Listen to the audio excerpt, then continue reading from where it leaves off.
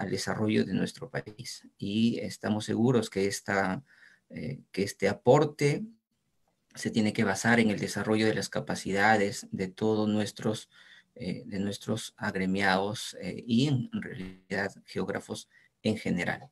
desde hace ya varios meses venimos desarrollando una serie de actividades que buscan fortalecer justamente las capacidades que hacía referencia, eh, tenemos, por ejemplo, eh, activo, activado desde hace un tiempo ya el boletín del Colegio de Geógrafos del Perú en su número 5, eh, que por cierto aprovecho la oportunidad para invitar a, cada uno de ustedes a presentar algún artículo de su autoría para poder, para que sea evaluado y posteriormente publicado en nuestro boletín institucional.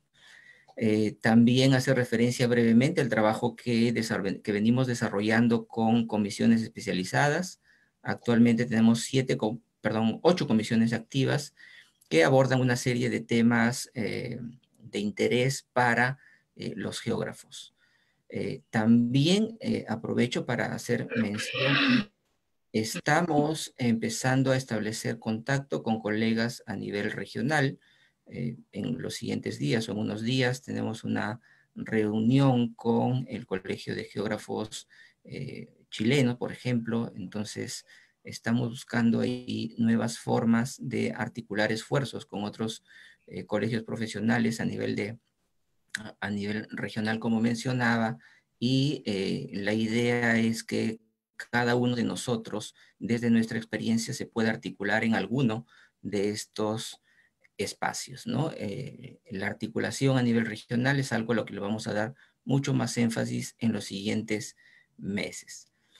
Eh, entonces, eh, uno de estos espacios, como ya lo mencioné, es nuestro evento que tiene por título Geografía de miércoles, que busca mostrar el trabajo que están haciendo los geógrafos y también evidenciar nuestro aporte en los diferentes temas vinculados al desarrollo de nuestro país. Eh, para terminar, quisiera agradecer a José Arias, que nos acompaña hoy eh, como ponente. Él nos va a presentar eh, los resultados del IDH al año 2019.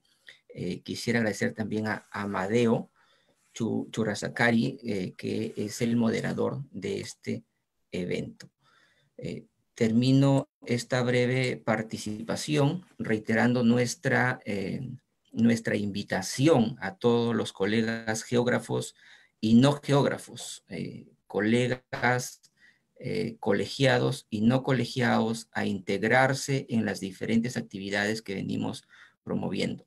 entonces, esperamos también que eh, podamos recibir aportes en función de las comunicaciones que estamos emitiendo a nuestros agremiados y cualquier, cualquiera de ustedes que esté interesado, por favor, no duden en comunicarse con nosotros y les proveeremos de la información necesaria y que permita la articulación o la integración de ustedes a las actividades que venimos desarrollando.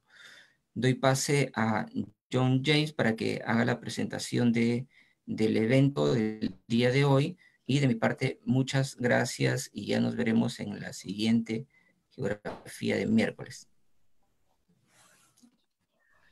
Gilbert, muchísimas gracias. Eh, muy buenas noches a todos. Para los colegas que, que aún no me conocen, soy John Beraún, eh, actual vicedecano del Colegio de Geógrafos y también responsable de la Comisión de Geografía y Actualidad Nacional e Internacional del Colegio de Geógrafos del Perú. Eh, este evento denominado Geografía de miércoles, con un nombre así bastante sugerente. Eh, eh, tiene, digamos, su, tercera presentación en lo que va del año. Hemos decidido realizar eh, los últimos miércoles de cada mes un evento de este tipo, en la cual se presenten temas de actualidad nacional y también internacional. Hemos abordado también temas referidos a la pandemia, por supuesto. Y, me parece que no podríamos dejar de, presentar eh, un tema como es el IDH. Eh, consideremos que eh, la última publicación oficial a nivel de distritos y de provincias del IDH data del 2013, con datos hasta el 2012, si no me equivoco, y más de media década después se vuelve a presentar un resultado de este nivel, y me parece valiosísimo para evaluar no solamente las tres variables que implican conocer el IDH, sino también el índice de densidad del estado que acompaña a este informe para saber cuán presente se encuentra el estado a lo largo del territorio nacional. Entonces, eh, eh, es indudable de que es un tema de absoluta importancia para geógrafos y para no geógrafos. Me parece que todo tomador de decisión debe conocer de esa temática y los profesionales que tengan algún interés por el desarrollo de, nuestra patria, eh, por supuesto. En el mismo sentido, desearles pues unas felices fiestas patrias, un día después del aniversario del país, es, importante abordar un tema como este. Y también mencionarles que en el Colegio de Geógrafos del Perú eh, existe un conjunto de comisiones que muy bien lo señaló el decano, Gilmer Medina, eh, digamos desde eh, las cuales se pretende abordar temáticas de interés nacional.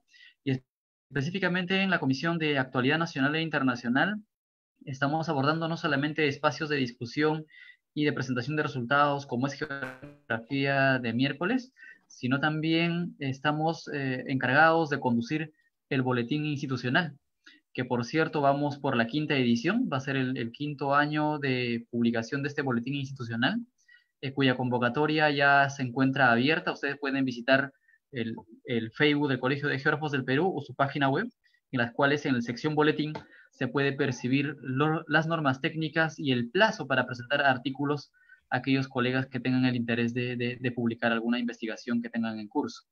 Y recordarles que ese plazo vence en septiembre. El último día de septiembre es el plazo máximo para presentar artículos que serán evaluados en octubre y noviembre y de ser aprobados, publicados en diciembre por el Boletín Institucional y ratifico esta invitación. Eh, y finalmente, estoy seguro que también va a haber la oportunidad de convocarlos a todos ustedes para evaluar un proyecto de ejercicio profesional que estamos eh, también redactando o está en revisión en el Colegio de Geógrafos del Perú. Eh, sin más preámbulo, quiero ceder la palabra a Amadeo eh, que es integrante de la Comisión de Geografía y Actualidad Nacional e Internacional, va a ser el responsable de moderar este evento. Amadeo, por favor. Muchísimas gracias, John, por el paso. Muy buenas noches con todos y todas. Tengo el grato honor de dirigirme a cada uno de ustedes y agradecerles por acompañarnos en esta tercera edición de Geografía de miércoles. Asimismo, agradecer a la Comisión de Geografía, Actualidad Nacional e Internacional del Colegio de Geógrafos del Perú por permitirme moderar en esta ocasión. El día de hoy nos acompaña como ponente José Eduardo Arias Vera. Él es geógrafo especialista en demarcación en desarrollo regional de la Universidad Nacional Mayor de San Marcos, con posgrado en planificación regional y rural en el Centro de Estudios Regionales Urbanos Rurales, Israel, becado por la DSA Alemania. Es egresado de la Maestría en Economía Regional de la Facultad de Ciencias Económicas de la Universidad Nacional Mayor de San Marcos. Ha sido docente en la Escuela Profesional de Geografía de San Marcos en los cursos de Planificación Rural, Desarrollo Regional y Descentralización, Taller de Desarrollo Regional y Descentralización y Formulación y Gestión de Proyectos de Desarrollo tiene más de 30 años de experiencia profesional en diversas instituciones públicas y privadas. Desarrollo de estudios, diagnósticos, planes de desarrollo, estrategias. Asimismo, ha formulado y gestionado proyectos de impacto a escala nacional, regional y local. Los últimos 20 años ha trabajado en programa de las Naciones Unidas para el Desarrollo, los ocho primeros años en el equipo del Informe sobre Desarrollo Humano de Perú, que elaboró los informes referidos a los temas de potencialidades, competitividad y descentralización, así como varios cuadernos de metodologías de planificación.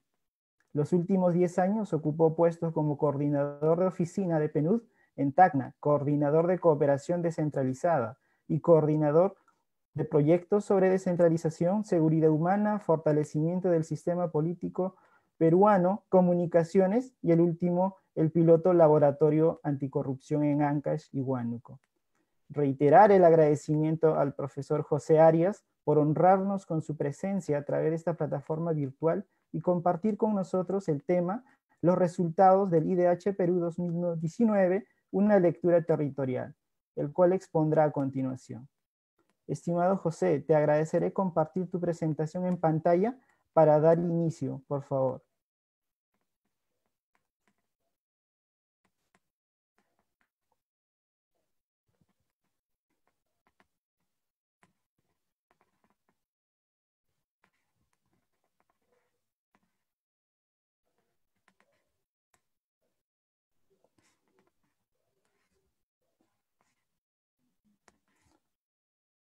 Profesor José, ¿podría activar su audífono, su micro?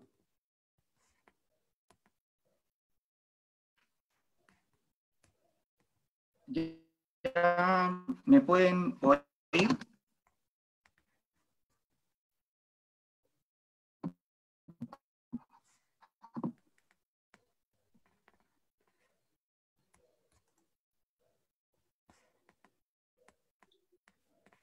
Me pueden oír, ¿no? Sí, profesor, lo escuchamos. Perfecto.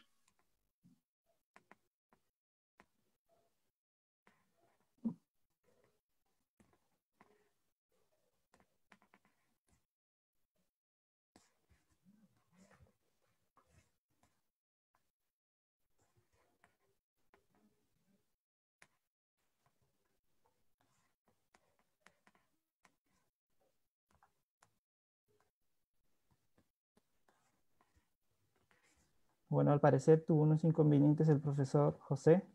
Seguramente en breves estará haciendo la presentación de, su, de su ponencia. Profesor José, ¿nos escucha?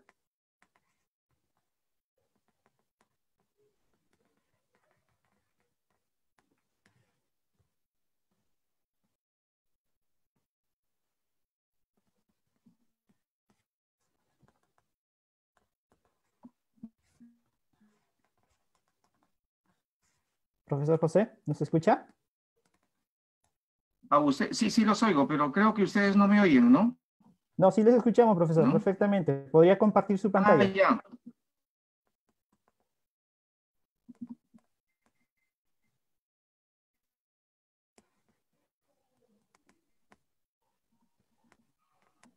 Ahí está. ¿La ven? ¿Sí? A ver. No sé si la ven. No, no se llega a visualizar su presentación. No puede ser. Ahí está, profesor. Perfecto. Se visualiza.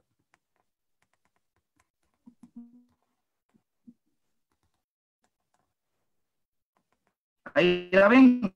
Sí, perfecto, profesor José. Se visualiza. Podría dar inicio a la ponencia. Sí.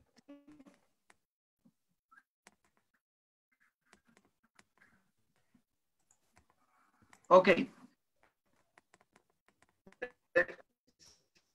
Se ve el cambio, ¿no? Sí. Bien. Eh, no, mi agradecimiento, muy buenas noches. Habíamos probado con un momento conmigo, ¿no?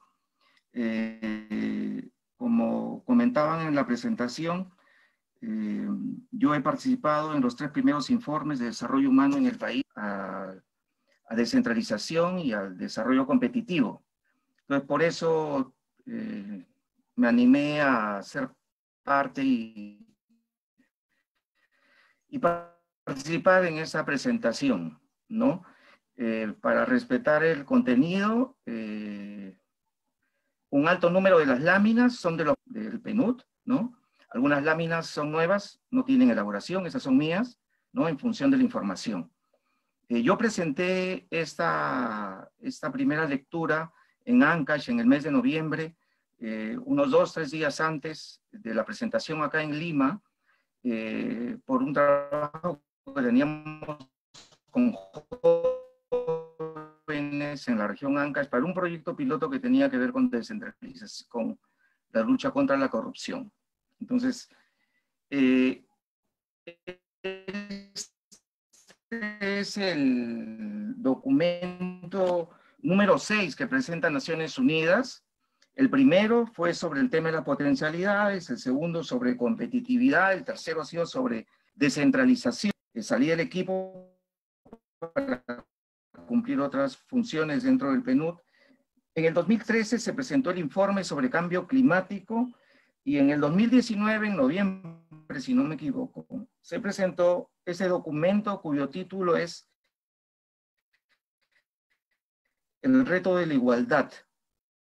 Hay que señalar eh, dos, dos cosas. Todos los informes a nivel nacional, además de esa la data, que normalmente es un año antes, excepto la del 2019, que es con data al 2019. El resto tiene uno o dos años de, de atraso. eh, siempre eh, que a nuestro juicio deberían de ser de interés de los académicos y de los decisores de política, ¿no? Entonces, siempre va el IDH con un tema, es el tema de la igualdad en este informe que ha sido preparado por los colegas del equipo de desarrollo humano del Perú. Así que vamos a iniciar. Eh, en sí,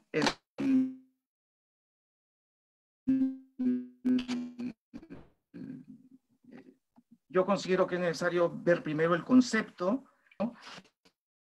y se debe entender con un, paradigma de, esos, de ingresos del país, que está ligado, sí, pero que va más allá del, tema de ingresos.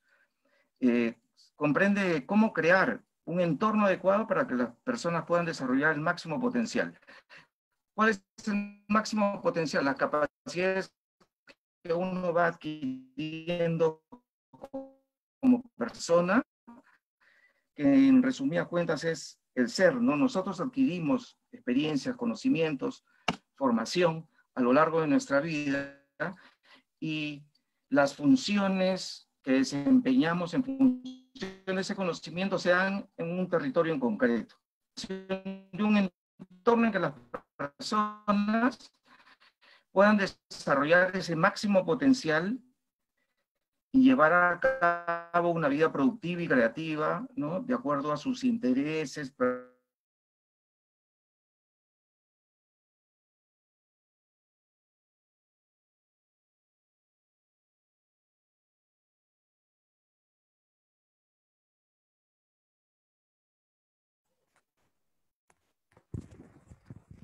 Profesor Arias, ¿me escucha?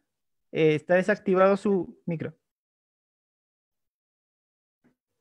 Profesor José, tiene que activar su micro. Ok, ahora sí, ¿no? Sí, y, su presentación compartirlo en pantalla, por favor.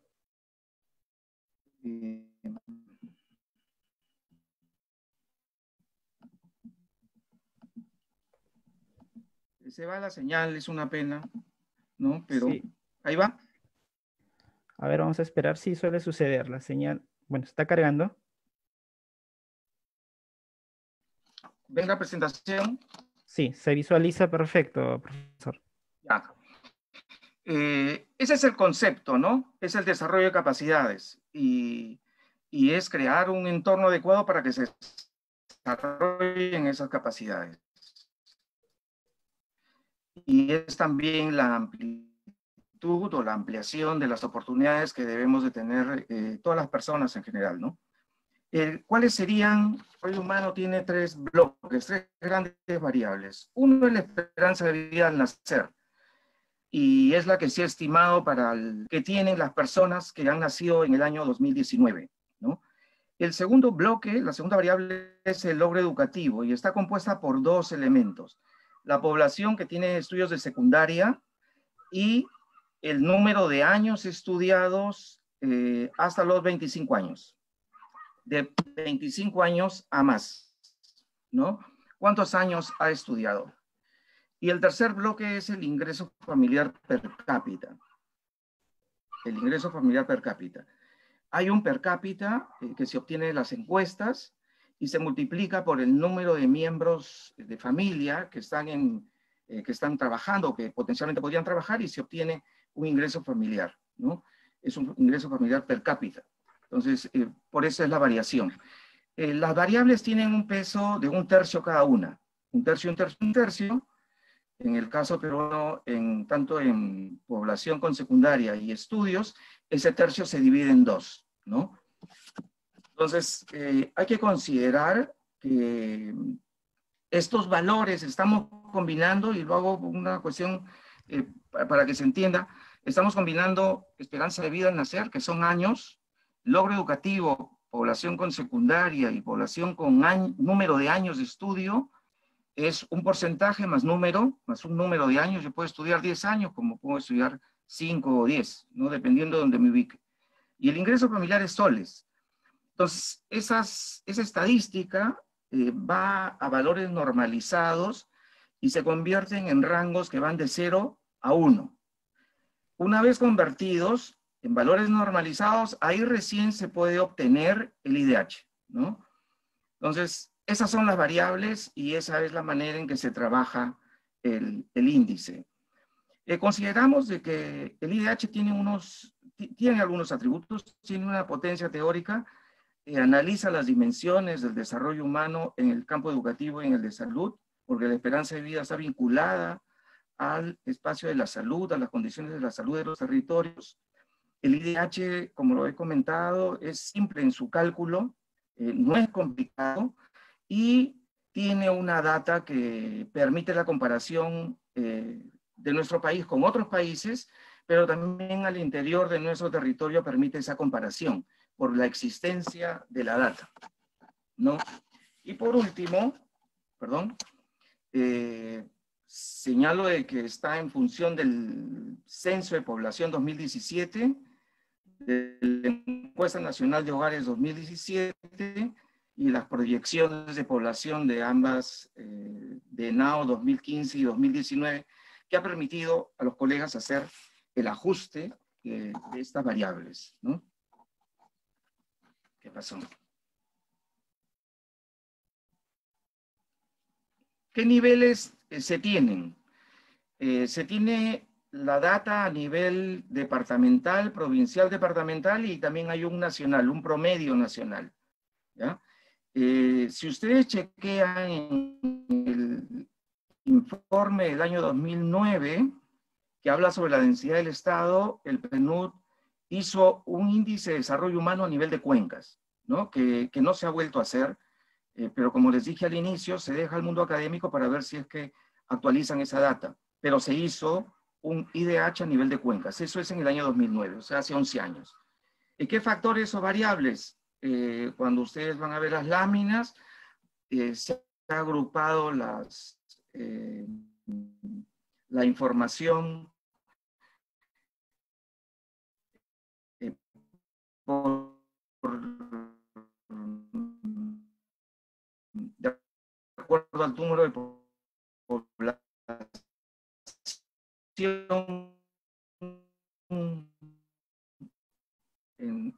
también se ha agregado por piso altitudinal. Hay un análisis al interior eh, que se ha hecho sobre el tema de las características de estructura productiva. Es la que se señala ahí, el censo de población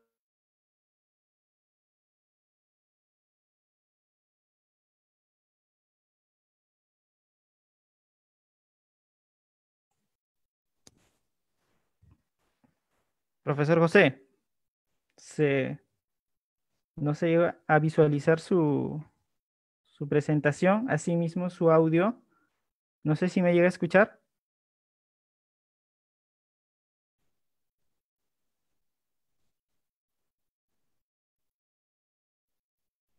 Profesor José Ari. Ya, listo. A ver. Bueno, la señal de internet suele pues pasar esto, ¿no? Sí, pero eh, para no someternos a esta, no estamos todavía con el 5G, así que hay que adecuarse, ¿no? Definitivamente.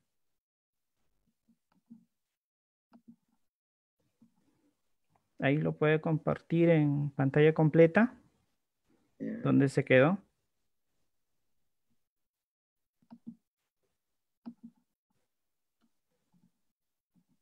¿Ahí? ¿La ven? Sí, se llega a visualizar, profesor. Ya, hay un análisis que se hace del, IDH del 2003 al 2019 y en general se ve un, crecimiento eh, sostenido eh, de aproximadamente un 3% anual en estos 16 años, ¿no? En el año 2003 el IDH promedio nacional era 0.366 y ahora estamos en el 0.586, o sea, hay un crecimiento sostenido a pesar de que existen diferencias territoriales. Pero el promedio es así. Eh, se evidencia un crecimiento. Unos con mayor crecimiento, algunos territorios con menor crecimiento, un, un crecimiento más lento, ¿no? En general se concentra ese crecimiento en las regiones, en los departamentos de la costa, eh, principalmente en Lima, ¿no? Este es el índice de desarrollo humano eh, departamental. ¿No? Vemos que Lima y Moquegua están en la punta y al último, en, la parte más baja, eh, encontramos a Ayacucho, Cajamarca, Amazonas, Apurímac y Huancavelica, ¿no? Eh, que son departamentos, si ustedes chequean con las cifras que ha sacado el Instituto Nacional de Estadística, has publicado en el mayo de este año, en mayo de este año, ha publicado el informe de la pobreza al 2019. Está en formato electrónico, o sea, lo pueden bajar de la base de datos del INEI. Y ahí hay una coincidencia eh, terrible entre estos departamentos IDH, coinciden mucho con los eh, departamentos más pobres, ¿no? Eh, que son Ayacucho, Cajamarca, Huancavelica y Puno, donde hay una concentración de pobreza, está en situación de pobreza. Coinciden con los departamentos eh, con un bajo IDH, con un bajo IDH, ¿no? Como se puede apreciar. ¿Qué más podríamos comentar? Hay que, hay que entender que eh, la extrema pobreza, eh, de acuerdo a ese informe, en el primer grupo está Cajamarca, hay, un, hay una concentración de 8 a 14% de población en extrema pobreza, y el grupo 2, donde está Purim, Cucho, Puno, Huancavelica, Libertad y Loreto, va de 5, de 6 a 8 aproximadamente de extrema pobreza. O sea, hay territorios en donde todavía hay población en extrema pobreza que tiene que ser atendida eh, de manera urgente, ¿no? En, observando los datos que se dan a nivel departamental, hay una relación, ¿no? En donde se localizan eh, estructura agropecuaria con agricultura familiar o pequeñas unidades agrícolas en un nivel de desarrollo de subsistencia, el IDH es menor. O sea, hay un empate ahí, está directamente relacionado. Agricultura familiar, economía de subsistencia, casi nada de acercamiento a mercados, con un menor índice de desarrollo humano. Si esta ubicación del territorio hay ciertos rasgos de modernidad, el, índice eh, crece lentamente, ¿no? Y en, algunos casos hay cierta recuperación. Donde hay esto, por ejemplo, como ICA, la libertad, eh, su estructura productiva agropecuaria, principalmente agroindustrial, está ligada con su estructura, eh, con su industria agroindustrial con su agroindustria. Eso implica mejores niveles de ingreso, ¿no? Y mayor nivel de dotación de servicios. Por el contrario, eh, donde hay mayor manufactura, como Lima, por ejemplo, en donde se concentran servicios, el índice de desarrollo humano es mayor.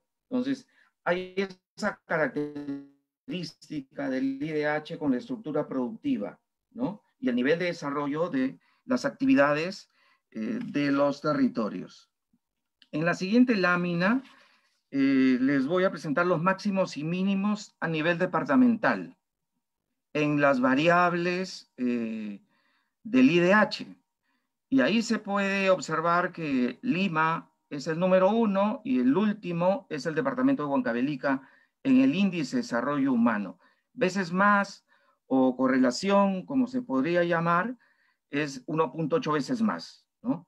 La esperanza de vida eh, sí nos llama a preocupación, ¿no? Y esto que estamos hablando de nivel departamental, ¿ah? entonces, la diferencia de edad de un niño que nació en el 2019, porque eso así es como se interpreta la esperanza de vida. En el Callao es de 78 años de edad mientras que el niño que nazca en el departamento de Amazonas es de 68 años, 68,9 años de vida. Eh, hay una gran diferencia territorial de aproximadamente 10 años de expectativa eh, de vida diferenciadas entre estos dos departamentos, en promedio, en promedio. En el, en el tema de educación, el, el Arequipa está eh, como departamento, ¿ah? como departamento, cerca del 76% tiene educación secundaria, mientras en Loreto llega al 44%. Y así podríamos ir señalando. Pero vean la última fila que está vinculada al tema de ingreso familiar per cápita. Lima en promedio tiene 1.497 soles contra Huancavelica, que es 442. Estamos hablando de aproximadamente tres veces más en promedio. Eh, los ingresos es un indicador que jala tiene mucha influencia, mucho peso en, en el índice de desarrollo humano. hay una relación directa entre la estructura nivel de producción o productividad, ¿no? Con el índice de desarrollo humano y con los máximos y mínimos que se pueden alcanzar en estas variables. ¿Qué características eh, productivas se podría decir que tienen estos departamentos? Eh, se, ha llegado, los colegas han los colegas han visto y agrupado de acuerdo a las características del IDH y de su estructura productiva en estos cuatro grupos, ¿no? Un IDH alto y medio, medio alto, eh, tienden a ser heterogéneos como también pueden ser homogéneos. Pero los de IDH bajo tienden a ser también heterogéneos y homogéneos. IDH alto son los departamentos con IDH alto tienen al mismo tiempo las mayores desigualdades. Departamento como Lima, con un alto IDH, eh, observamos que las provincias eh, de Sierra de Lima tienen un bajo índice de desarrollo humano, pero son, tienden a ser eh, menos desiguales, tienden a ser menos desiguales. ¿Por qué? Porque en, estos, en estas zonas los ingresos son similares. Las esperanzas de vida también son similares.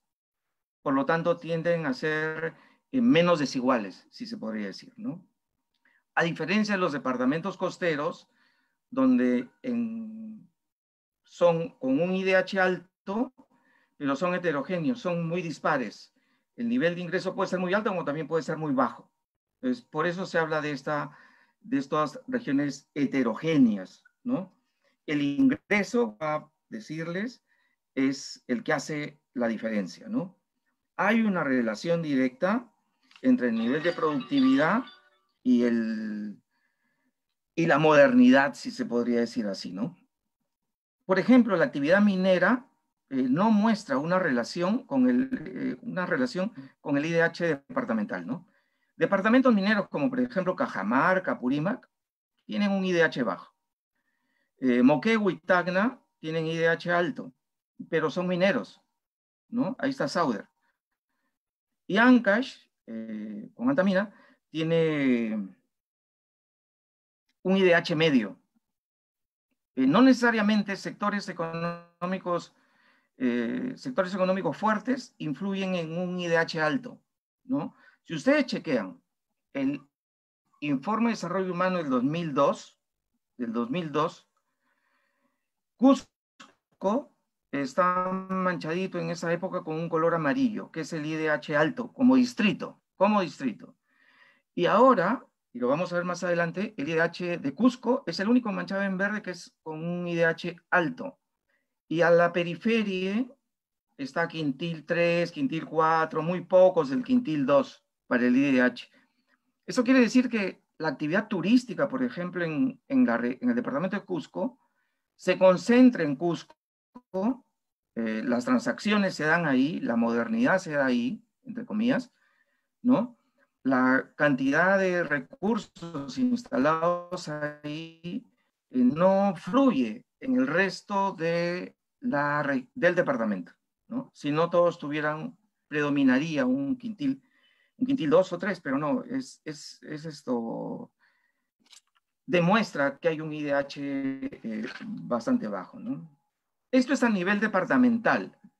A nivel eh, de las provincias, del índice de desarrollo humano, tenemos que acá en esa lámina se presentan los de mayor y menor IDH, ¿no? Como podrán ver, ahí está eh, Lima, Hilo, Cañete, y abajo están varios distritos eh, que representan pues a los últimos en el, índice de desarrollo humano, ¿no? Menos ingresos, eh, menos esperanza de vida, contra una mayor esperanza de vida en la provincia de Lima, ¿no? En Arequipa, eh, Cañete, Hilo y casi todos, o muchos de ellos, ¿no? Exceptuando Tahuamanu, eh, son de la zona pues de costa, ¿no? Veamos los mismos indicadores con más menos, con máximos y mínimos en el índice de desarrollo humano. Veamos esperanza de vida. Esperanza de vida, el de mayores a nivel provincial es la Unión, con 83 años, contra Antabamba, que tiene 55 años una diferencia de 28 años a nivel provincial. La expectativa de vida del niño que nació en el 2019 en la Unión es de 83 años, contra la expectativa de vida de uno que nace en Antabamba, que es de 55. La diferencia es brutal ahí, 28 años. Es 28 años. Eh, eh, y eso indica que tenemos que trabajar eh, muchísimo. La Unión, yo no conozco, pero tengo referencias de que es una, es una provincia que tiene bastante atractivo turístico, cierto grado de desarrollo agrícola, muy alejado del principal centro de consumo Arequipa, pero donde hay un enorme trabajo de algunas ONGs y también del mismo Estado en esta zona de la Unión. ¿no? Eh, hay características que tiene que le permiten tener esa esperanza de vida tan alta.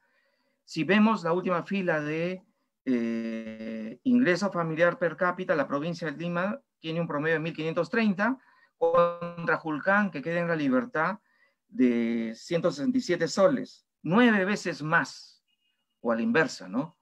Julcán tiene nueve, nueve veces menos ingresos que uno que trabaja en promedio en, en Lima. En años de estudio, eh, sí es lo que se estudia, ¿no? Primaria, secundaria, más universidad, para la población de 25 años a más. En el Cusco lleva la delantera a nivel provincial con 11 años, contra Pachitea, que queda en Huánuco, que es 3,3 años de estudio. O sea, ahí nomás eh, al ojo nos damos cuenta de que solamente se ha llegado a, primaria, ¿no? O sea, que hay un, hay un porcentaje de población que, que con las justas tiene primaria, o sea, eh, perdón, tres años Tres años de estudio implica primaria incompleta, ¿no? Primaria incompleta. El IDH, eh, en este enfoque territorial, ha sido agrupado en cuatro estratos de población eh, de acuerdo a, estos rangos, ¿no? El estrato 1, que va de más de un millón provincias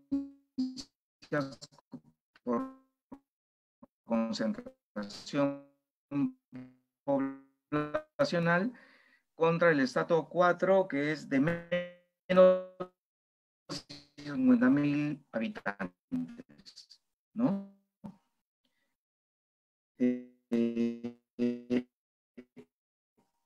y hay una mayor concentración en las provincias que van de mayores de un millón es 10.7 años de estudio,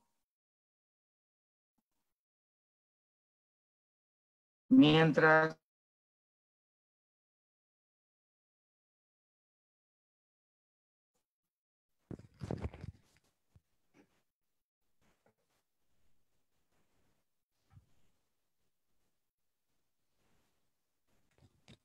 Profesor Arias. Ya, ya me, me salí, o sea. sí, nuevamente ahí haciendo sí me oye. inconvenientes. Sí, se, se, le escucha, pero bueno, se, se desactivó, ¿no? lo que es compartir eh, pantalla. ¿Se ve la No, también se le escucha entrecortado, no, no, no tenemos un buen audio y su lámina no, no se está compartiendo.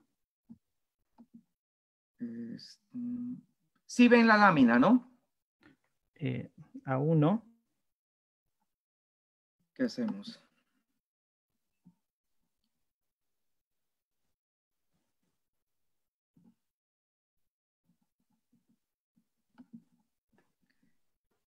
¿Usted ya compartió la lámina? Porque no se llega a visualizar aquí. Eh, a ver, veamos.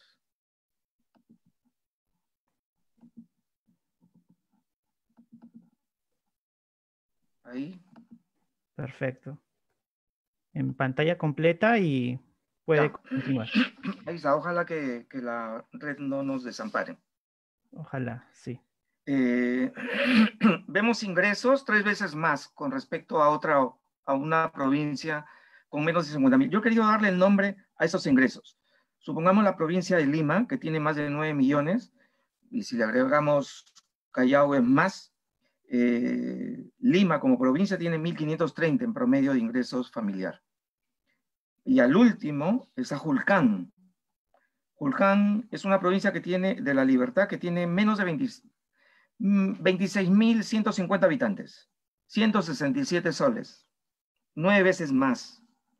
O sea, ese, ese es un indicador también, ¿no? O sea, yo puedo, se puede agregar el IDH por concentración poblacional y también hay un amarre de mayor IDH, mayor concentración poblacional, menor IDH, menor, menor eh, IDH, ¿no? Menores, menor concentración poblacional. Si vemos estas, estas provincias por sus dinámicas, el, el equipo del Informe de Desarrollo Humano eh, pudo hacer esta, este cruce y determinó de que hay las provincias en cuatro niveles, ¿no? Las provincias en cuatro niveles. Los de alto crecimiento de desarrollo de IDH, 81 están en ascenso, ¿ya? Y 10 están en el nivel de avanzadas. Crecimiento IDH, bajo nivel de IDH, 81 en ascenso. Alto IDH, 10 avanzadas. Y.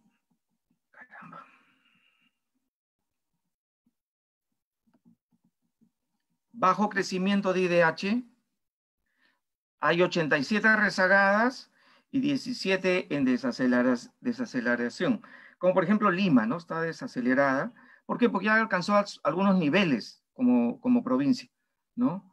Eh, altos ingresos, en promedio, esperanza de vida al nacer, años de estudio, Lima, Guaral, Nazca, Ica, Hilo, Trujillo, ¿no? Eh, tienen un alto nivel de IDH, pero su crecimiento entre el 2013, 2003 al 2019 ha sido un crecimiento bajo, ¿no?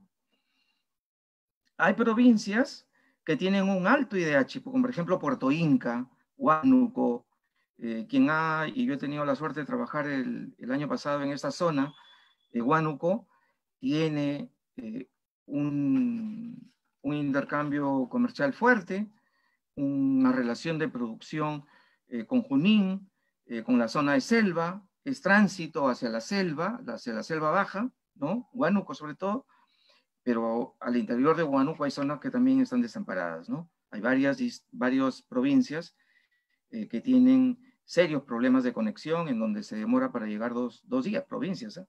y algunos distritos eh, se podría decir que más, ¿no? Estas atrasadas, por ejemplo, eh, tenemos, en las avanzadas tenemos eh, Santa, que es pesca, eh, Cusco, que es turismo, ¿no? Así podríamos ir identificando a las provincias por el sesgo que tienen en sus actividades, ¿no? En el caso de Ica es bastante agroindustrial, Ma- Lima es manufacturera, ¿no? Este es el índice de desarrollo humano a nivel distrital. Eh, yo voy a compartir con los colegas del colegio el informe y esta presentación también para que la puedan utilizar y mejorar sobre todo, ¿no? Eh, para, para, su, para sus trabajos y desarrollo académico y también la base de- en Excel, ¿no? El IDH por distritos, el, el componente ingresos, es el componente de mayor influencia en la correlación para obtener eh, el índice de desarrollo humano a nivel distrital. El logro educativo y esperanza de vida es menos influyentes, pero a nivel digital son menos influyentes, pero también aportan, ¿no? Esta es una mirada del IDH distrital por rangos poblacionales, ¿no? Por, perdón, por pisos altitudinales. Costa Baja, Costa Alta, Sierra Baja, Sierra Alta, Selva. La última no se ve, debe ser Selva Alta, la de la derecha, que no sale el nombre.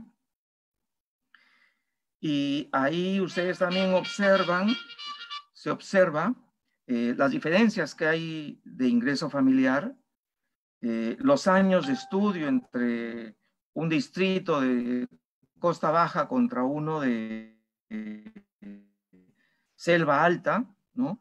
Y también el nivel de concentración poblacional, ¿no? En Costa Baja se concentra el 50, por, cerca del 51% de la población, mientras que en Selva Alta el 7,8%, en Selva Baja el 6,2% de la población del país. Eh, hay una relación. Esto contribuye al análisis que los colegas y la, y la estadística evidencia eso, de una alta concentración poblacional en costa, un alto índice de desarrollo humano, ¿no? Eh, los promedios eh, lo, lo, manifiestan así, ¿no? Perdón, y acá, conforme se va, subiendo, se va bajando, o a la inversa, conforme se sube en pisos altitudinales, el IDH eh, es menor, ¿no? El IDH es menor, ¿no? Eh, la selva baja, alta, eh, tiene una caracterización que es dispersa y desconectada, excepto la zona de la marginal de la selva, pero no hay una conexión. Si nosotros vemos, por ejemplo, el distrito de Purús, que tiene esa característica, ¿no?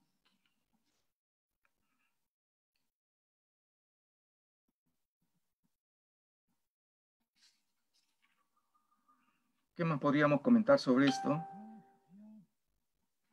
Este es el índice de desarrollo humano a nivel distrital con máximos y mínimos. la esperanza de vida, eh, curiosamente la obtiene el distrito de Chaparra, que es de la provincia de Carabelía Arequipa, con un promedio de 85 años, contra el distrito del Oro, que queda en Antabamba, que tiene 50,5 eh, años de vida. Ahí la diferencia es súper más fuerte, ¿no? Entre un distrito y el otro hay un promedio de 34 años de diferencia de vida. O sea, la expectativa de vida de un niño que nace o que ha nacido en el año 2019 en el distrito de Loro en Antabamba es 50, 50 años de vida, ¿no? En promedio, en promedio, ¿no? Entonces, eh, en educación secundaria, eh, hay un 92% en redondeo para el distrito de Lipa contra Balsapuerto de Loreto, que con las justas llega a 11, a 12%. ¿no? Es bajísimo el porcentaje de la población del distrito de Balsapuerto que tiene secundaria, solamente el 12%, contra un 92% del distrito de Lipa, en Ancash. Y en, la, y en los años de estudio de poblaciones de 25 años a más, la, Molina tiene un promedio de 14.7, ya cerca de 15 años de estudio, ¿no? Estamos hablando de primaria, secundaria, universidad, más estudios de posgrado, maestría, ¿no? Mientras en el distrito de Churajá y Ayacucho, eh, con las justas, dos años de estudio, ¿no? Dos años de estudio. Esa es una comunidad que está en construcción desde el año 93, en que intervino el Estado construyendo viviendas. Eh, Creo que ahora tienen agua potable. No sé si tienen desagüe. Esos servicios son caros, entonces esto. Eh, y muy pocos son los distritos que cuentan con este tipo de servicios. Que sí deberían de tenerlo. Cuando ustedes revisen la data van a encontrar que se encuentran 10 distritos con esperanza de vida igualita, 85 años. Eh, nueve de ellos se encuentran en Arequipa, y ese es un caso sí para analizar y estudiar, ¿no? Y es, eh, los amigos del IDH me comentaban de que hay una suerte de que la población joven en muchas provincias de Sierra migran, se queda la población adulta, los niños también se quedan y el intercambio por eso es lento, o sea, no, no hay la esperanza de vida ahí llega en promedio 85 años, ¿no? A ver, sigamos.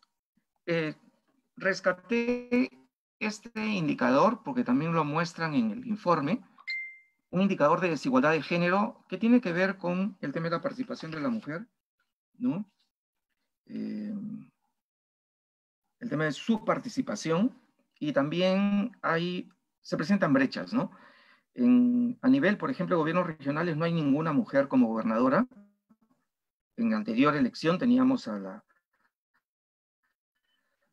a la gobernadora en Arequipa, pero hoy por hoy no tenemos.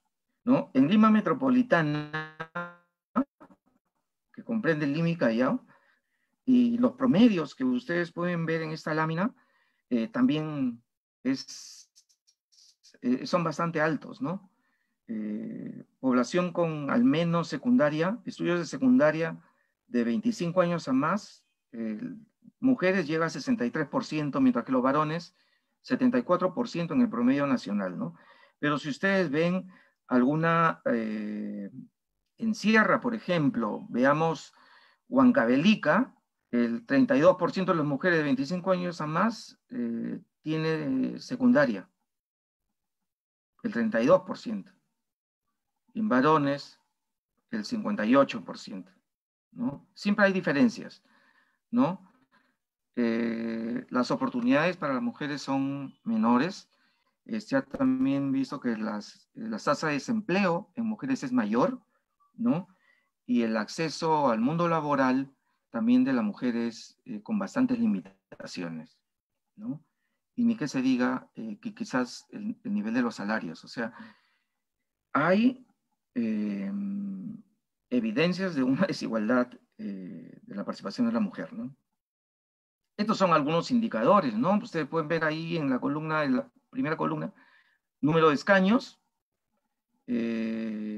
población con educación de secundaria, y con fuerza laboral, ¿no? Participación en la fuerza laboral también es bastante eh, baja, ¿no? Un índice que se presenta en este informe, y voy a acelerar, eh, es el del índice de densidad del Estado, ¿ya? Que es el índice que señala la presencia del Estado en la provisión de los servicios eh, fundamentales, ¿no? Agua, saneamiento, electrificación, que ahora ya están a cargo de empresas, varios de ellos. ¿no? El agua, felizmente que está a nivel de gobiernos regionales, locales, ¿no? y en el caso de Lima, es pública, ¿no? pero la energía eléctrica ya ha pasado ya a privados. ¿no? Entonces, este índice de densidad del Estado muestra al Estado con mayor o menor provisión de los servicios del Estado, ¿ya? en la provisión de servicios. Miren la magnitud de la entrega de estos servicios, de la provisión de estos servicios, de la recepción de estos servicios. En el año, en el informe del 2009, el PNUD eh, elaboró el índice de desarrollo humano, pero al 2007, o sea, una estadística al 2007. Y en este año 2019, en el año 2019, en el informe que se ha presentado, ha, eh, ha actualizado, pero al 2017. ¿Ya? Tienen que tener en cuenta eso. El ID, la base del índice de densidad del Estado, es otra, otro año, el año 2007 y el año 2017, por si acaso. Estos son los índices de densidad del Estado, son cinco.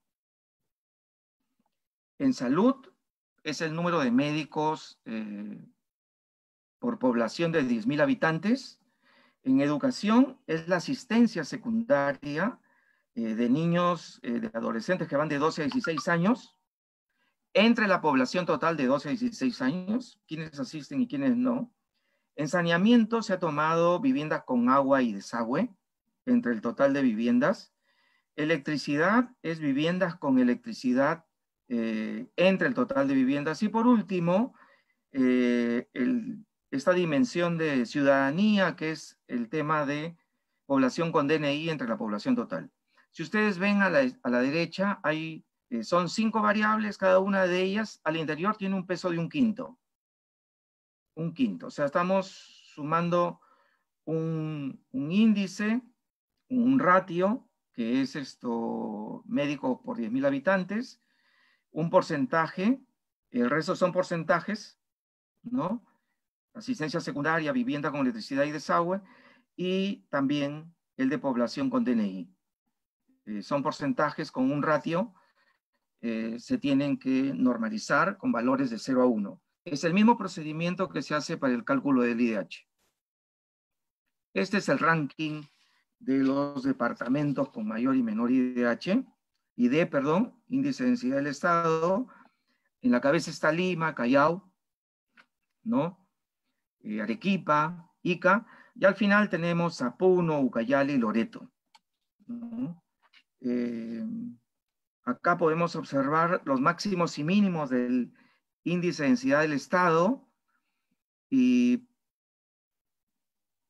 el DNI se ha universalizado prácticamente, cerca del 99% en general tiene DNI o partida de nacimiento, pero sí destaca, por ejemplo, médicos por 10.000 habitantes, el ratio en Lima es de cerca de 29 contra Cajamarca que va a 6, ¿no? Eso es en promedio departamental, pero si lo vemos a nivel provincial o distrital es menor, ¿no? Va a ser menor. Un ratio que destaca, eh, por ejemplo, en viviendas con desagüe, Callao tiene, el 88% de las viviendas tiene agua, el servicio de agua potable y desagüe, ¿no? Eh, mientras Puno tiene un 48% de viviendas con agua potable y desagüe, ¿no? 48%. Este es el ranking de las provincias con menor y mayor IDH, y IDE, perdón, ¿no? Está Lima, Ica, Cusco, Callao, algunos, algunas provincias de Sierra, y al final también destacan entre los últimas, las últimas provincias, son 194 provincias si no me equivoco, los 20 últimos, 13 eh, son de selva y 7 son de sierra, ninguno de la costa, ninguno de la costa, en el índice en sí del Estado, ¿no? Acá es el índice de densidad del Estado, máximos y mínimos, a nivel provincial, ¿ya? A nivel provincial. Y acá podemos ver también, ¿no? Eh, llama, jala el ojo, por ejemplo, viviendas con agua potable y desagüe. Eh, Huancayo, la provincia de Huancayo, cerca del 93% de las viviendas tiene este servicio mientras en la provincia de Purús llega solamente cerca del 4%. Eh, Purús no conozco, pero sí sé que para Purús eh, solamente se llega en vuelo aéreo, eh, se sabe cuándo se sale, pero no cuándo se retorna, o sea, cuándo se llega, pero no cuándo se retorna. Es por las condiciones de clima. Es la provincia que tiene una característica, con un, es la provincia que tiene un solo distrito, ¿no? Con un solo distrito. Y está totalmente desarticulado, el costo de vida ahí es carísimo, eh, los, servicios también son caros, ¿no? Pero los niveles de servicio, ahí lo vemos, 4% nada más tiene agua potable y desagüe. Y la electricidad llega al 18%, que me imagino que es la que está concentrada en la capital, eh, perdón, ahí en Condorcanqui, ¿no? Que también es selva con el límite con el Ecuador, ¿no? En Amazonas, ¿no? Para terminar y esperar algunas preguntas para compartir comentarios con ustedes, yo creo de que hay algunos temas pendientes de las cuales, y, y, me van a disculpar, ¿no? Con las disculpas del caso, pero lo que yo pongo acá son los temas desde mi punto de vista, de mi especialidad, ¿no? Yo estoy seguro que los otros colegas de otras especialidades de planeamiento físico, recursos naturales, sus prioridades y, necesidades de investigación son otras, pero desde el punto de vista de mi especialidad de la planeación del desarrollo regional, eh, yo creo que estas deberían de, ser las, caramba, estas deberían de ser las que eh,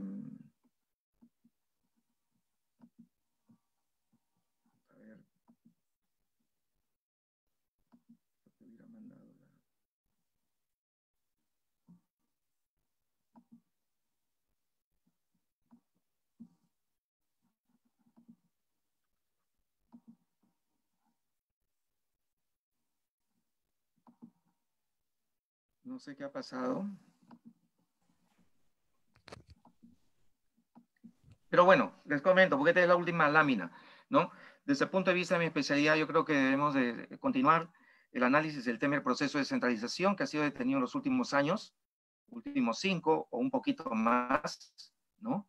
Y no se ha avanzado mucho en el tema del proceso de descentralización. Eh, se ha incrementado sí presupuestos, pero eh, yo creo que es necesario un, mayor monitoreo. Eh, creo que debemos de tener que el desarrollo local es la base del desarrollo regional. un tercer elemento es el análisis de las ciudades intermedias, ¿no? Y definir o identificar cuáles serían sus funciones para el desarrollo rural. Un cuarto tema es la identificación de las potencialidades o analizar metodologías para identificar potencialidades a nivel local y regional. El PNUD hizo una propuesta, un acercamiento de la teoría de potencialidades en el informe del año 2002 y de ahí no se ha vuelto a tocar más. Hay una experiencia en en Tumbes, donde en el año 2005 o 2006 eh, se, elaboró un, se elaboró un mapa de la riqueza eh, con esa también misma orientación. Eh, un quinto tema es el tema de la investigación, la ciencia y la tecnología, pero a nivel regional. Hay funciones que han sido delegadas a gobiernos regionales. hay un plan de competitividad nacional de hace, de hace algunos años que, que se tiene hay unas leyes que han salido para parques eh, de ciencia y tecnología, hay otra normativa que ha salido para los parques eh, de, industria y tecnología, los que son los PITE, que tiene toda una normativa eh, que ha sido actualizada en los últimos dos, tres años. hay varias aspiraciones de pequeños empresarios de impulsar estos parques de investigación y tecnología. Y hay muchos temas de geografía económica, ¿no? que también están pendientes. Eso es lo que yo quería compartir con ustedes. Muchísimas gracias, profesor José. Y sí, pues eh, se concuerda de que hemos tenido una mala pasada con respecto acá al Internet y a la transmisión por los cortes y a toda la audiencia las disculpas del caso por el mismo. Y profesor, aquí para trasladarle algunas preguntas que que están haciendo los asistentes. Sí, cómo no. Justamente acá indica, ¿no? Eh, los promedios que corresponden al departamento de Lima no estaría distorsionado por los promedios de la provincia de Lima, debido a que hay una gran diferencia en términos de IDH entre los distritos de la provincia de Ollón o Yauyos con respecto a los distritos de la provincia de Lima.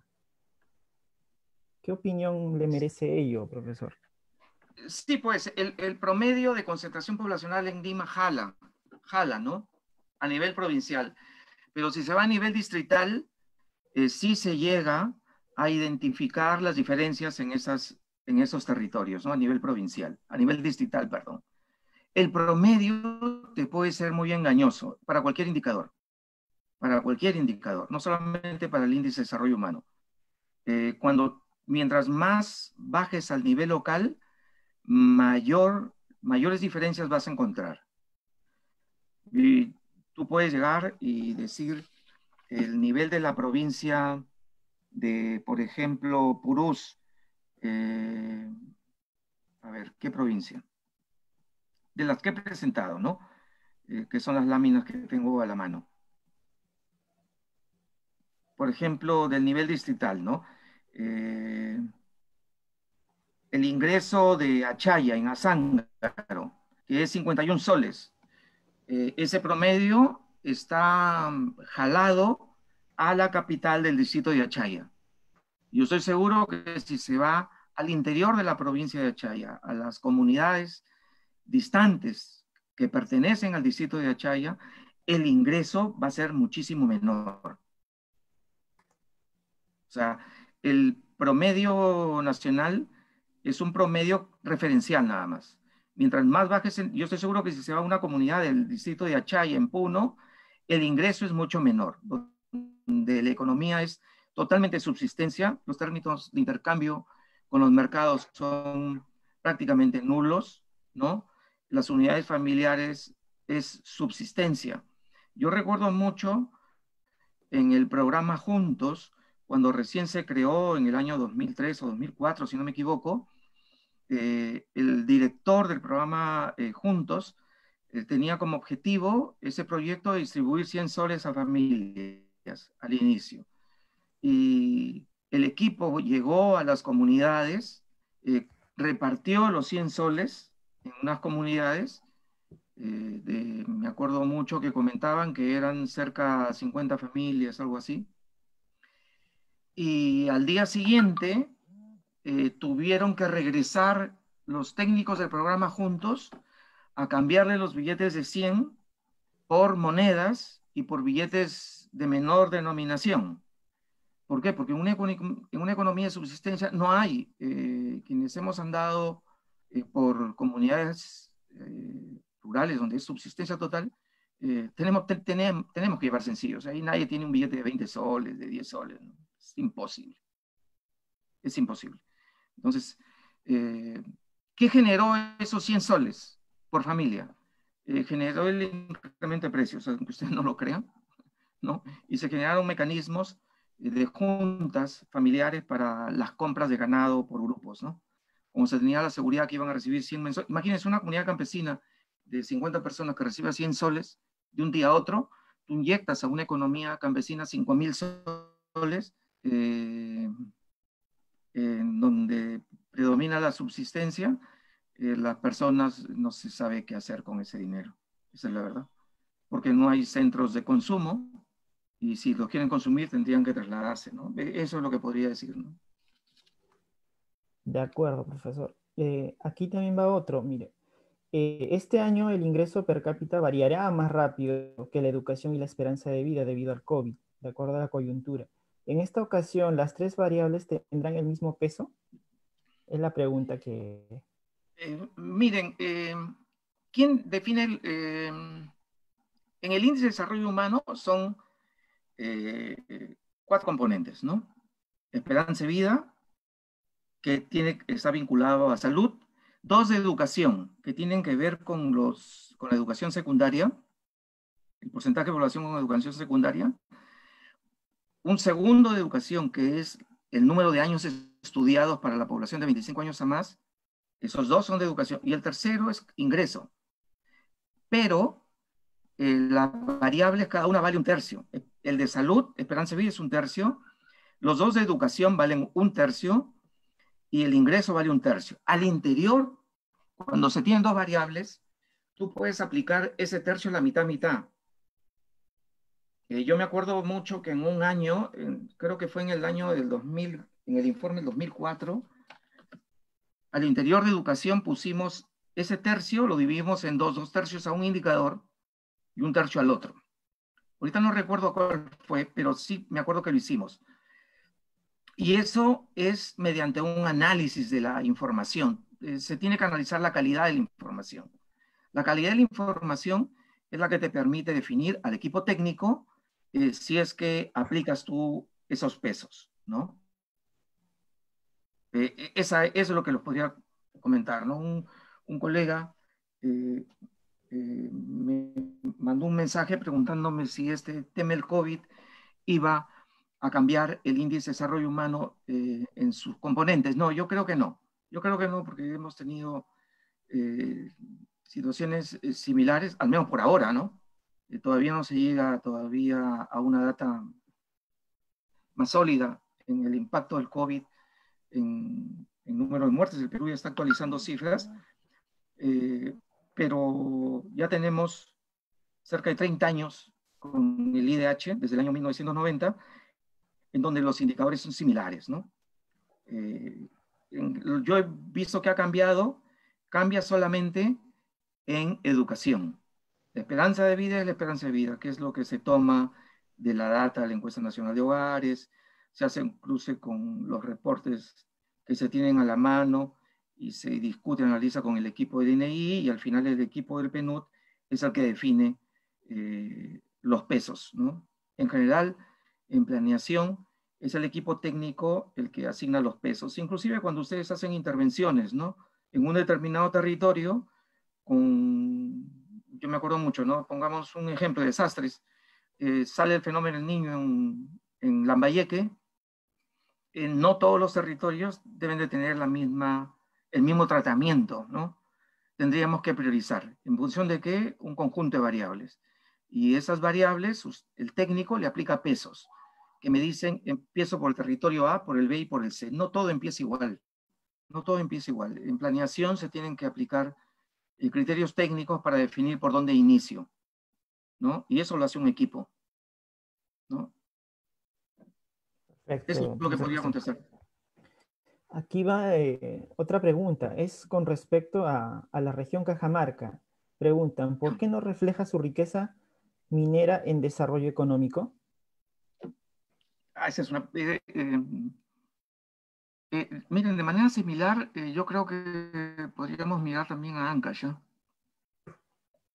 Ancash, el distrito donde San Marcos, si no me equivoco, donde está localizada Antamina, la municipalidad recibe un alto, un altísimo presupuesto por canon, ¿no?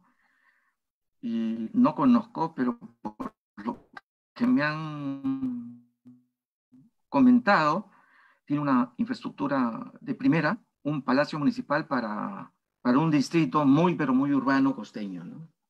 y no para, para la estructura que tienen. Entonces, esto, como no se transforman, las materias primas simplemente se extraen y se trasladan, eh, la demanda de los insumos que se requieren son comprados en los centros urbanos.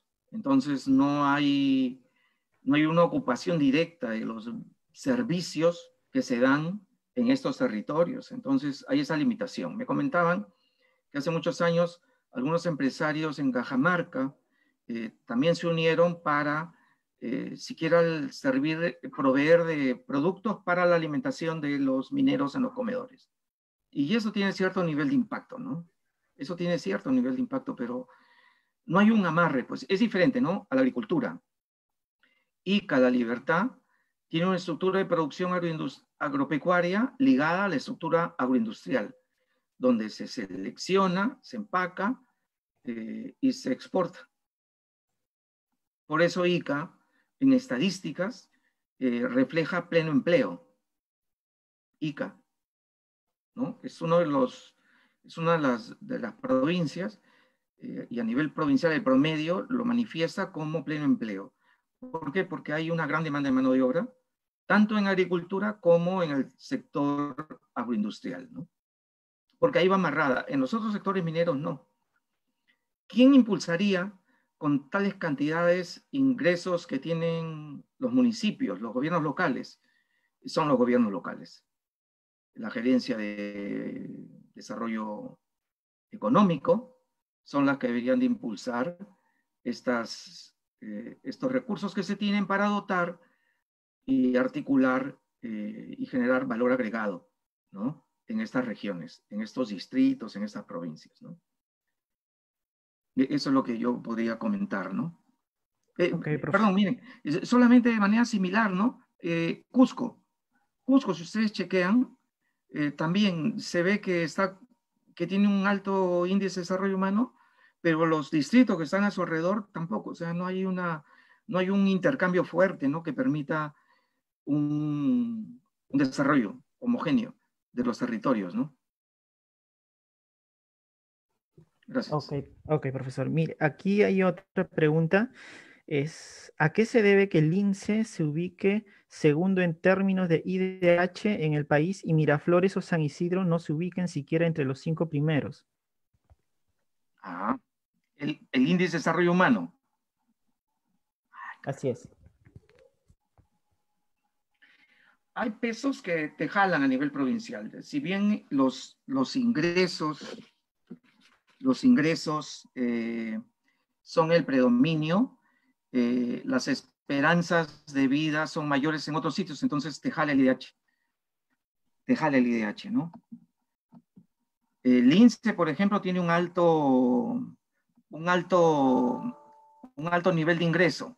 San Isidro, La Molina, Miraflores tienen tienen altos, un número alto de eh, personas con estudios, número de estudios. Entonces, eso te jala, pero esperanza de vida en algunos puede eh, hacer que se mejore el promedio, ¿no? Puede hacer que se mejore el promedio. Estaba buscando eh, el IDH provincial como para comentar. A ver, veamos.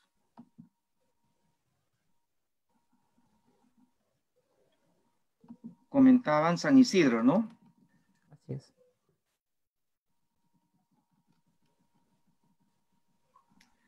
Distrito, perdón. Distrito, San Isidro, sí, pues. Acá, si nosotros lo vemos, índice de desarrollo humano de mayor a menor. Tenemos al INSE en segundo lugar, ¿no? Jesús María, San Borja, Barranco, son los distritos. Eh, los 30 son de Lima. En el índice de desarrollo humano, los 30 que están, eh, exceptuando pues allá hay algunos de como Yanaguara, Arequipa, ¿no? Pero casi todos son de Lima. Casi todos son de Lima. Ingresos es la variable que te jala, ¿no? Es la variable que te. Si bien algunos piensan que de repente, ¿por qué no está San Isidro al primero? Es por otras variables que inciden, ¿no? Hasta por ingresos, hasta por ingresos, ¿no? Yo les voy a pasar la data para que les permita un mayor nivel de, de análisis de esta información de acuerdo al territorio que ustedes están analizando, ¿no? Lo pueden analizar por veces más, por, por restas entre uno y otro, ¿no? Yo creo que lo importante es eh, qué utilidad le doy eh, para mi argumentación para la toma de decisiones de derivar fondos, recursos o prioridades en el territorio. Pueden tomar este índice de desarrollo humano, que es muy buena data a nivel digital, como pueden tomar el mapa de pobreza, eh, el último publicado, que creo que solamente está a nivel de, de departamentos, ¿eh? pero que ayuda, ayuda, ¿no? Correcto. Eh, profesor, aquí le quería hacer el comentario. Eh, el ex premier Salvador del Solar, en el 2019, cuando se presentó el Informe Global de Desarrollo Humano, hacía mención de que hay, se preguntaba cuáles son los obstáculos para el desarrollo indicaba que definitivamente la primera mirada sería hacia, hacia nuestro ingreso. Eh, luego, pues, eh, qué tan factible es que estamos con respecto al acceso a la salud y a la educación.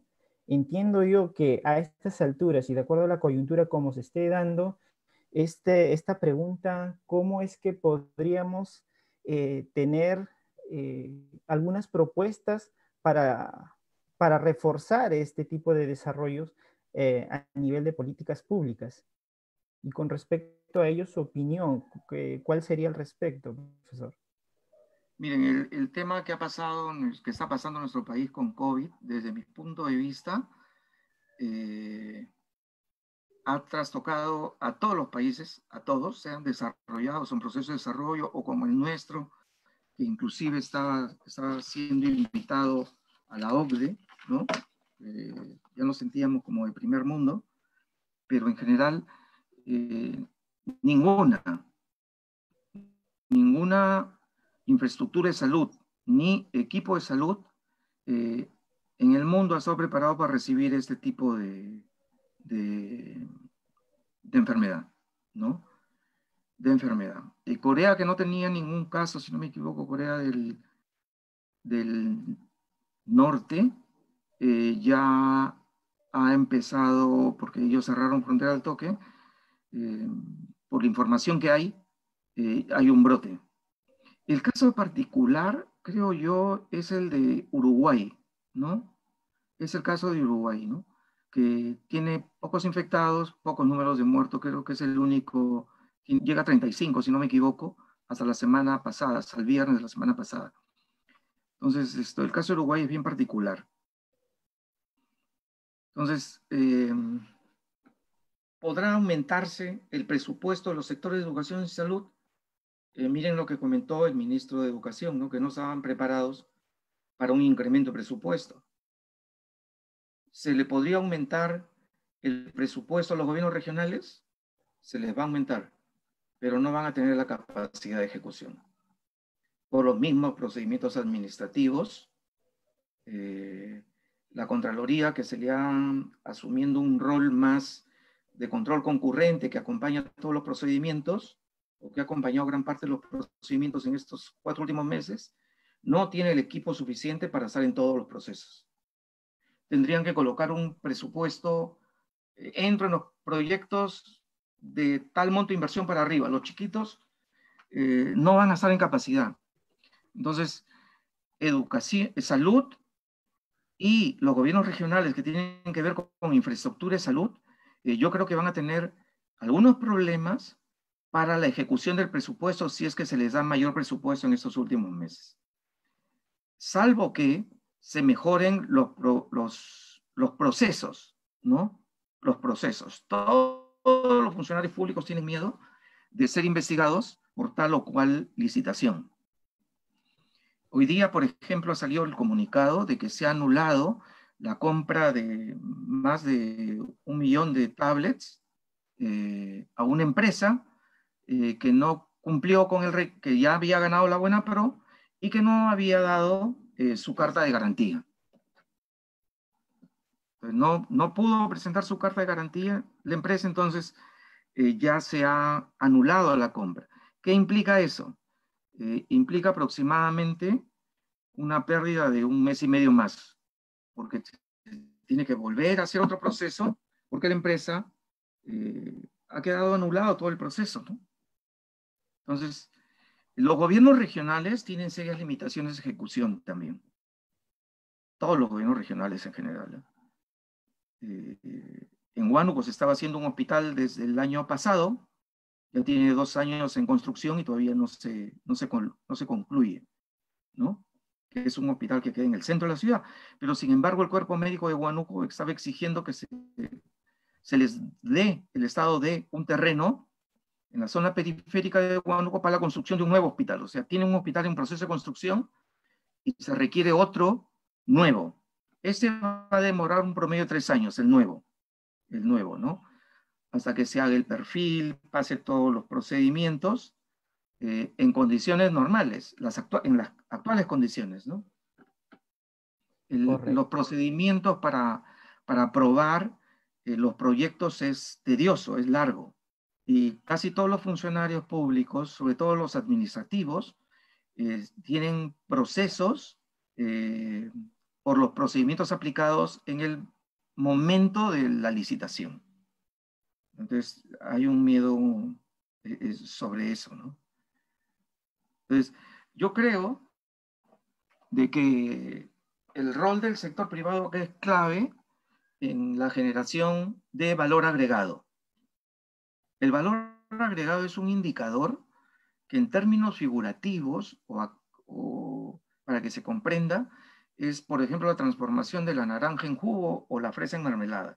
Eso es en términos, para que se entienda rápido. Pero en términos económicos, eso implica salario, salarios, implica utilidad, implica pago a terceros. Entonces, el valor agregado es un indicador que te permite, cuantificable, cuantificable, en el valor agregado no hay rollo, es un indicador, tú lo hayas, ¿no? tú lo hayas. Eh, entonces, el asunto es incrementar valor agregado y ahí tú tienes que generar condiciones en la estructura productiva eh, que capte mano de obra local si es, que si es que se puede, ¿no? Y la industria tiene que estar de acuerdo al nivel de desarrollo tecnológico de los territorios.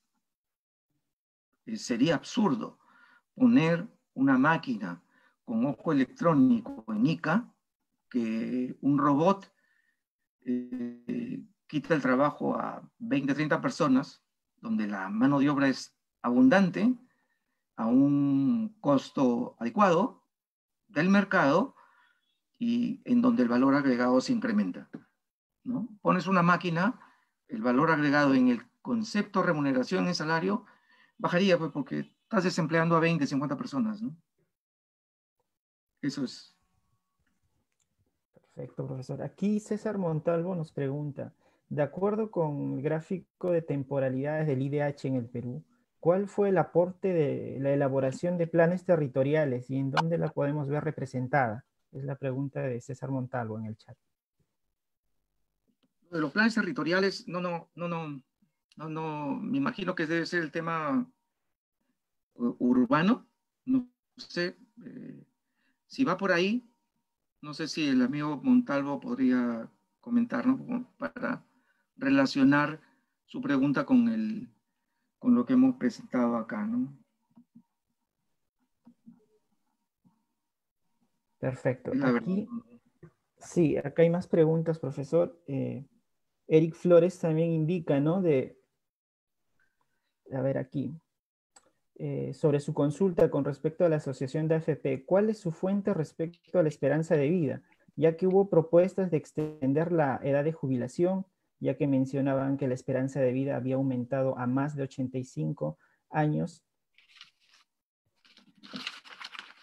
Sí, el, concepto de esperanza de vida es, eh, hay que tomarlo con bastante pinza, es esto, ahí se hace un análisis por los grupos de edad, grupos de edad, se suman los años, se divide entre nueva población, o sea, hay que tener mucho cuidado con, es un, es un indicador valioso, ¿sí? Es un indicador valioso.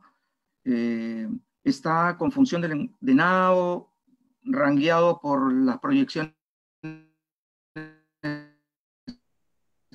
hace el INEI. Entonces, permite, yo creo que como todo indicador, soy convencido que como todo indicador, debe tomarse como referencia y tratar de bajar al nivel mínimo, indicador tiene esa característica, ¿no? Se, se suman años, se agregan años, entra nueva población. Entonces, un amigo comentaba, eh, poblaciones eh, muy rurales, de repente, eh, donde hay un predominio de ancianos, jala la edad a más arriba. Y cuando ustedes van a una zona rural, encuentran personas de mayor edad viviendo. pero yo creo que el asunto es tomar el índice de esperanza de vida como un indicador que te permite llegar a, analizar desigualdades, ¿no? De tal manera que te permita tomar decisiones de mejora en educación, en salud como fundamento de una intervención concreta, ¿no? De una intervención concreta. Eso es lo que en general ayuda a todo indicador. Si ustedes se van por pobreza, también va a ayudar para la toma de decisiones y para la intervención. Yo en general, por la experiencia, yo creo que los indicadores deben ser tomados como criterio para priorizar territorios. ¿no? Te ayudan, te ayudan. Perfecto. Aquí Max Rumiche hace la siguiente consulta.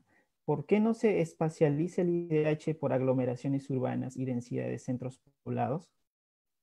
Es la pregunta. Esa es una buena... Sí, eh, pero miren, yo entiendo a los compañeros del IDH porque yo he vivido el proceso de construcción de tres de ellos y,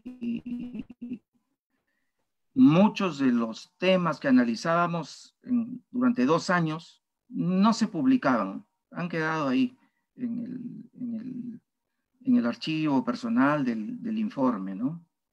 Eh, en el año 2009, por ejemplo, cuando se hizo el tema de cuencas, eh, se tuvo un buen impacto. El equipo trabajó brutalmente para llegar a, a un IDH por cuencas, que de hecho es súper difícil, súper difícil. Yo no estuve en ese equipo, pero lo sacaron. Pero ahora, con el limitado equipo que se ha tenido, se ha sacado este documento, este informe como reto de la igualdad y se han llegado a agregar, eh, como les he presentado, por concentración poblacional a nivel distrital y, a nivel provincial. Ese es un acercamiento. Muchas veces eh, nos gana el tiempo y el equipo también, pues, ¿no? hay un montón de gente, y entre ellos yo me cuento, de que la unidad de planeación ideal debería ser la cuenca, para otros no. Claro, definitivamente. Eso se hizo ese IDH. Yo creo que hay que tener de que el mundo académico lo recoja, lo amplíe lo mejore. Eso no está bajo, escrito bajo piedra. No está escrito bajo piedra. Simplemente eh, se pone al mundo académico eh, porque se presenta en universidades, ¿no? Eh, para que lo tomen en cuenta, lo mejoren y lo amplíen. Entonces, ¿qué hay ideal que el Ministerio de Vivienda, Instituto de Planeamiento de Lima, eh, Planeamiento Urbano de Lima o la municipalidad lo asuma y lo analice y detalle a nivel al menos de las ciudades del departamento de Lima, ¿no? Sería interesante, sí. Sí, desde el punto de vista, pero por ejemplo, personalmente a mí, a mí me interesaría de que se haga un análisis de ciudades, pero también eh, cuáles serían las funciones de esas ciudades en el nivel rural para desarrollar el mundo rural. ¿Cuáles serían los servicios que deberían de tener esas ciudades rurales, ¿no? En el mundo rural para impulsar su desarrollo. Es otra mirada también, ¿no? Definitivamente, profesor, se comparte lo que usted indica de que el enfoque de cuencas hidrográficas nos permitiría tener una mejor gestión eh, del territorio y asimismo tener una planificación ordenada, ¿no? Eh, aquí hay otras, sí, acá hay otras preguntas, profesor, que quisiera trasladarle. Eh, las inequidades socioeconómicas entre las regiones se debe a que en el país se continúa con la centralización económica o a la incapacidad para el gasto por parte de ellos. Y creo que a ello debería agregar de que hay un centralismo también en oportunidades. Miren, si ustedes chequean, la gran mayoría de capitales, de las ciudades capitales, tienen una zona donde hay un parque industrial, eh, pero ninguna funciona como parque industrial, salvo pues las de Lima, ¿no? O los CITES, como por ejemplo el CITEBIT de ICA, ¿no? Que brinda servicios eh, a los agricultores de uva en la zona. Yo creo que el sector privado cumple un enorme papel en la generación de, ingresos ¿no? y de captación de mano de obra, porque ningún sector público es, productivo en el sentido de generación de, procesos, pues. El, el rol es al sector privado y el sector privado va a estar en un territorio que esté dotado de servicios básicos, ¿no? Tacna, al sur del país, eh, recibe eh, diariamente un promedio de 4.000, 5.000, hasta el año pasado, pues, ¿no? Eh, chilenos que cruzaban la frontera por servicios de todo tipo. Pero el viernes, sábado y domingo llegaban a cerca de 12.000 personas. Y en las noches la frontera estaba abierta para que circulen a cualquier hora. Tacna tiene una, dos universidades, eh, pero ahorita en estos meses de cuarentena que no ha recibido a ningún turista chileno, su economía ha sido brutalmente golpeada.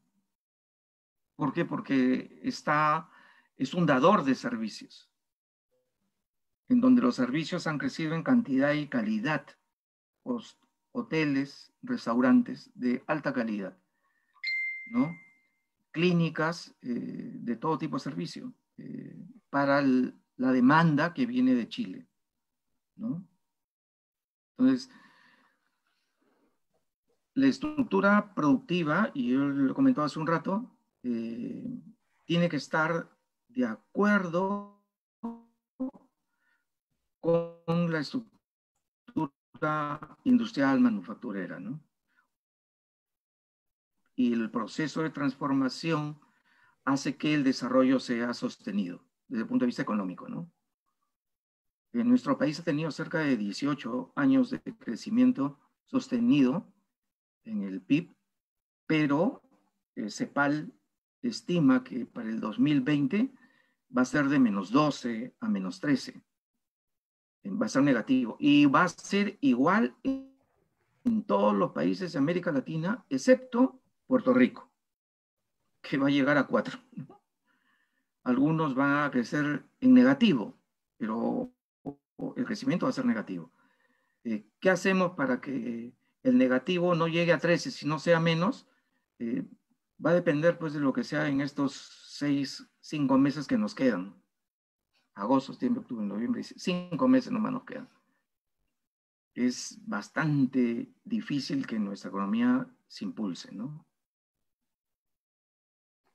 Eso es lo que es, bien complicado ver una solución. Eh, ha habido un primer paso ya para terminar esa primera esa pregunta, ¿no? El presidente ha convocado en, varias líneas de acción como para impulsar eh, la actividad económica en el país, ¿no? Que, que, en cinco meses no se ha movido nada.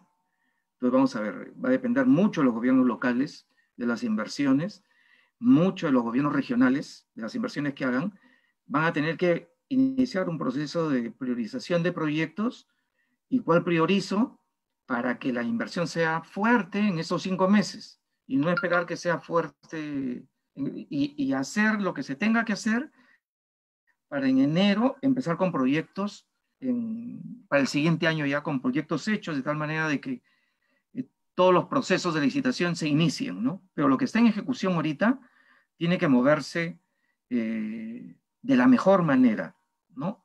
Salvaguardando también la salud de las personas que, que están ahí, ¿no? Bien. Finalmente, eh, profesor, eh, sus últimas reflexiones con respecto a, la participación misma. Y con esta pregunta quiero cerrar eh, de parte de Juan Belis, donde nos indica qué tanta participación existe en la actualidad de los geógrafos en los estudios del IDH, desde su expertise.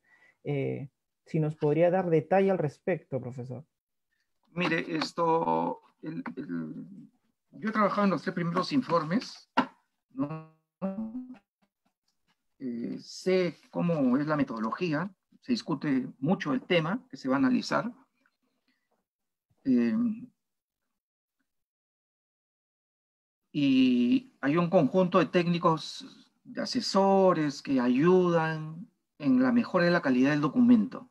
Igual ha sido desde el primero hasta este informe, ¿no? Hay un coordinador, ahora el actual, hasta el año, el último informe lo lideró Francisco Santa Cruz, que es un profesional de primera línea, ¿no? Con un equipo de compañeros, muchos de ellos yo los conozco, que estuvieron en la primera parte, ¿no? Eh,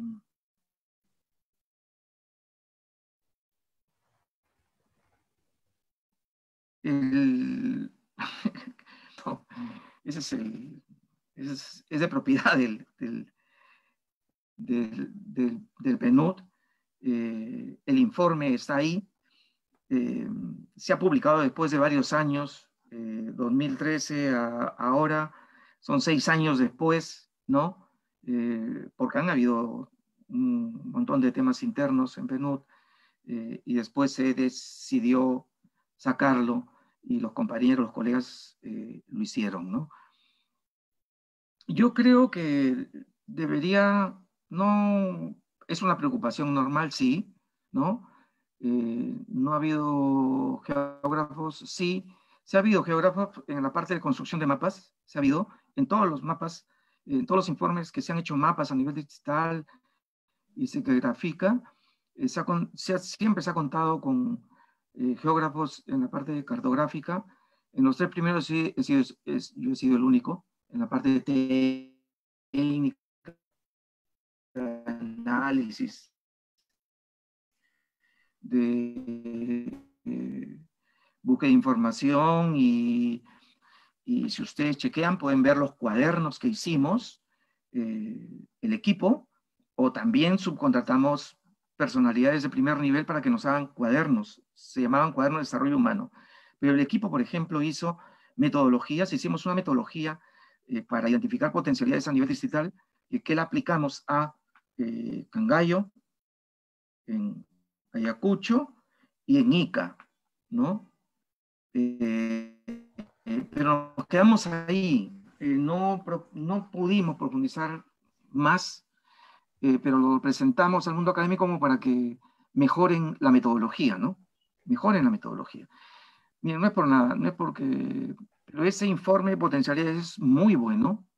Eh, salió en el 2002, en el 2003 salió el mapa de potencialidades que hicimos con, otro colega en el PNUD a nivel provincial, pero el enfoque de potencialidades implica otra mirada del territorio diferente al mapa de pobreza. Es, el enfoque es totalmente diferente. ¿no? Yo entro a un territorio en función de sus recursos, que pueden ponerse en valor. Y la teoría de potencialidades está en construcción, no se ha concluido. Eh, los académicos no hemos profundizado, y ahí me incluyo. A pesar que no enseño hace tres años en una universidad, eh, no, no hemos profundizado esa metodología. ¿no? Creo que es una tarea de los geógrafos analizar y profundizar la teoría de las potencialidades. No, no está hecho. Eh, ¿Qué valor le doy yo a un recurso que está en el campo? ¿Le doy el valor en donde está localizado o qué valor le pongo en el mercado y en todo ese proceso de sacar al mercado? Un recurso turístico, como yo lo valoro, ¿no? Un recurso turístico, que es una alta potencialidad eh, de atracción turística y que podría generar un montón de economía local, eh, ¿cómo yo lo pongo en el mercado? Es un proceso súper interesante para ser esto analizado por ONG. Yo les comentaba que en Tumbes hicieron el mapa, la riqueza en función de ese enfoque que hicimos con el mapa de la potencialidad. Pero ellos le llamaron mapa de riqueza. Los amigos del CEDAP Ayacucho, que es una ONG ayacuchana muy reconocida, en esos años también hizo su mapa de potencialidades ayacuchano, pero nunca lo publicaron, pero sí me comentaron que habían hecho uno. Esa es una de las tareitas. por eso eh, los equipos que se formen en el PNUD, ojalá que haya la posibilidad y presupuestos para hacer un equipo sólido, de tal manera que formule un nuevo informe a cada dos, tres años. ¿no? Los presupuestos eh, cada vez son un poquito más difíciles de conseguir también. ¿no? Por eso el espacio entre uno y los últimos, ¿no? hasta donde yo participé, lo sacábamos cada dos años. En 2002, 2004 y 2006 sacamos. El 2008, diciembre de 2008, yo me retiré del PNUD para ocupar un cargo que, en Tacna, y los amigos sacaron en el 2009 el informe de densidad del Estado, que es un informe buenazo, ¿no? El 2013 sacaron uno del cambio climático. Yo les invito a que busquen esos informes que les va a ser de muchísima utilidad en el conocimiento de nuestro país. ¿no? Creo que eso es lo que podría agregar. Perfecto, estimado profesor. Eh, en lo personal, agradecerle por la ponencia y a toda la audiencia también reiterarle las disculpas eh, por los inconvenientes que hemos tenido con respecto a la transmisión. Suele suceder y, y a todos ellos, eh, muchísimas gracias por su compañía. muy agradecido a ustedes. No, gracias, gracias, profesor. Muchísimas gracias. Y aquí probablemente John, para el cierre del evento, tendrá algunos, algún comunicado al respecto. Te cederé la palabra. Y con lo que respecta a mí, muchísimas gracias a todos.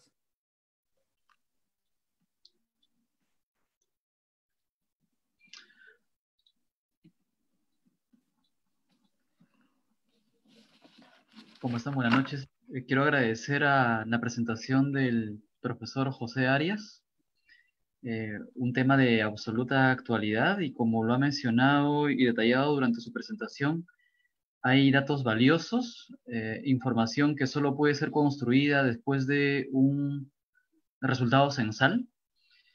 y obviamente a nivel de distritos y provincias, tener indicadores en términos de nivel educativo, esperanza de vida, ingresos, y las cinco variables mencionadas para construir el índice de densidad del Estado es más que importante. que en efecto se utiliza, eh, digamos, con bastante intensidad en las instituciones públicas para la toma de decisiones.